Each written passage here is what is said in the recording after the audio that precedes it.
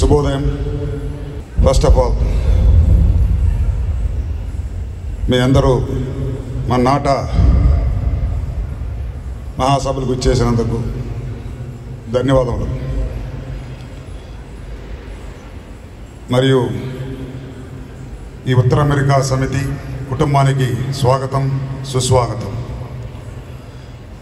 ఉత్తర America Telugu సమితి జరుపుకుంటున్నాము ఐదవ వా- దైవార్షిక వేడుకలకు మిమ్మల్ని ఆహ్వానించడం నాకెంతో సంతోషంగాను గర్వంగాను ఉంది. ఈ వేడుకలకు ఒక ప్రత్యేకత ఉండేలా ఏర్పాట్లు చేశాం.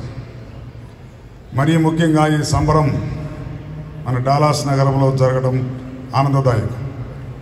సాంస్కృతిక వికాసమే నాటా మాట సమాజ సేవయే నాటా బాట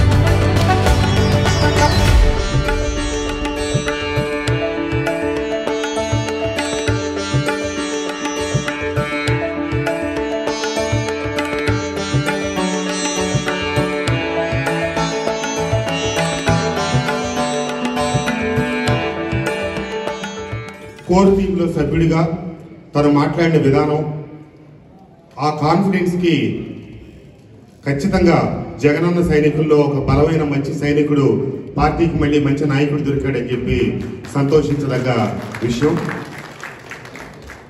మొదటగా సోషల్ మీడియా గురించి ఈ ఈ సమావేశం తొలి వ్యవహారం కాబట్టి ఒక రకంగా చెప్పాలంటే ఈనాటి సోషల్ మీడియా రాజకీయాల్లో సాంప్రదాయబద్ధమైనటువంటి రాజకీయాలు చేయటం కష్టమైన విషయంగానే కనిపిస్తూ ఉంది.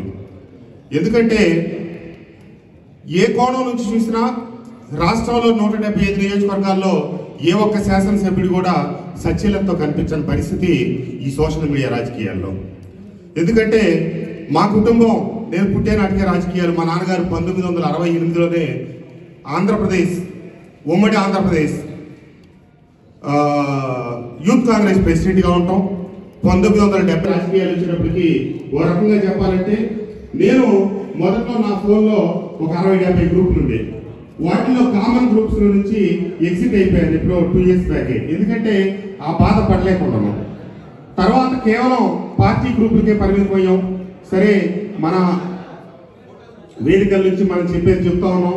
మన వెనకున్న మన వారియర్స్ వాళ్ళు చేయాల్సిన ప్రయత్నం అంతా వాళ్ళు చేస్తూ ఉన్నారు. ఏమైనా? ఇందాక మన భార్గవ్ గారు చెప్పారు కాన్ఫిడెంట్గా చాలా విషయాలు. అభివృద్ధి అనేది ఒక నిరంతర ప్రక్రియ. ఒక రోజుతో మొదలైంది కాదు ఒక రోజుతో ఆగిపోయేది కాదు. అది కంటిన్యూస్గా జరుగుతూ ఉండాల్సిందే.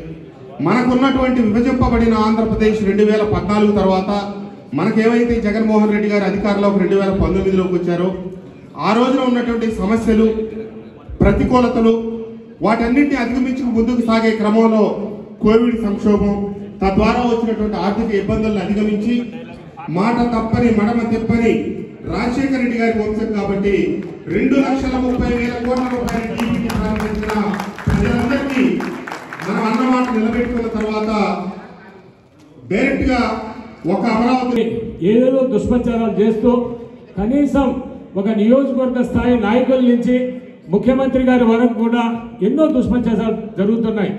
ఈ రోజు నిజంగా దివంగత నేత రాజశేఖర రెడ్డి గారు ఆయన మరణించిన ఆయన మీద కూడా ఈరోజు దుష్ప్రచారాలు చేయడం జరుగుతూ ఉంది.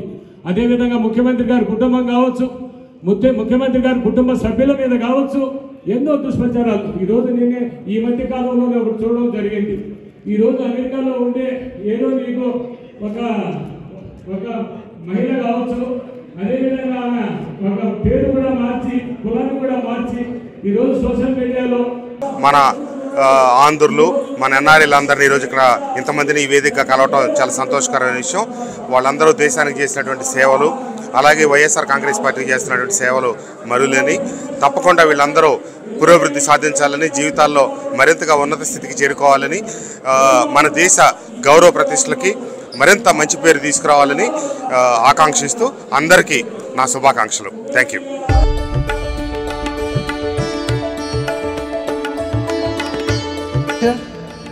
The village economy in agriculture is taking a back seat that is impacting the psychological state of the people living there. Most of our roots in the villages, and we love to keep the villages prosperous and healthy.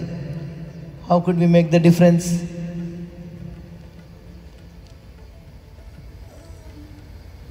Currently, there is more infrastructure development is taking place in India, and so uh, smaller towns are coming up,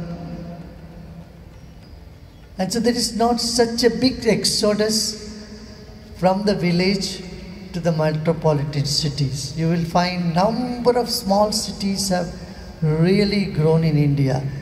It will take a few more years where every village becomes self-sufficient. See, some parts of India, for example, if you take Kerala, there is no difference between a village and a town. It's sort of seamlessly one strong, one wrong stretch.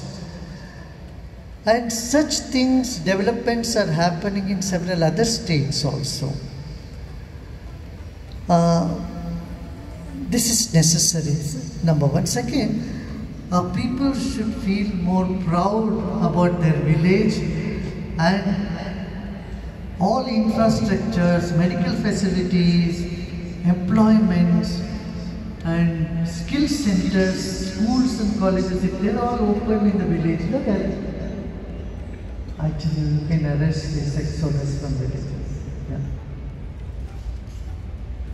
Gurudev, how do we expand our consciousness and awareness so that we can perceive the world as is without any blocks or barriers? Three C's. Will you remember three C's?